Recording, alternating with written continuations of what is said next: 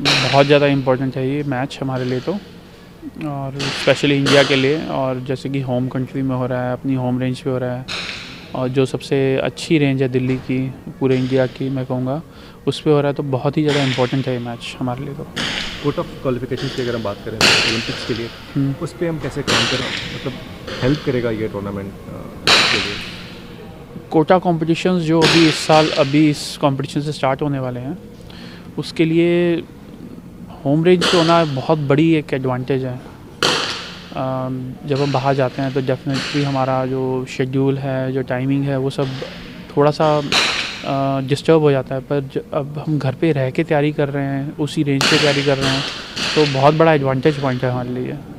तो जिस तरीके से एशियन गेम्स या कॉमनवेल्थ गेम्स में इंडियन शूटर्स की परफॉर्मेंस रही थी एक्सपेक्टेशन बहुत ज़्यादा ओलंपिक्स को लेकर आ जाती हैं मेडल टैलीज में। क्या लगता है सर प्रेशर होता है या फिर हम ये कोशिश कर रहे हैं कि हम एक ऐसी बेंच स्ट्रेंथ तैयार करें जो यहाँ से निकल कर अब ओलंपिक में के लिए? देखिए, हम अगली पीढ़ी के लिए तो तैयारी कर ही रहे हैं डेफिनेटली पर आज की डेट में जो हमारे टॉप शूटर्स हैं, उनके लिए भी पूरी कोशिश कर रहे हैं कि जितना हो सके हम ओलंपिक मेडल लेके आएँ, अपनी जो नेक्स्ट जो हमें देखते हैं जो हमें देख के मोटिवेट होते हैं न्यू कमर्स उनके लिए भी एक तरह से अच्छा खासा सपोर्ट प्रोवाइड कर सकें उनको भी।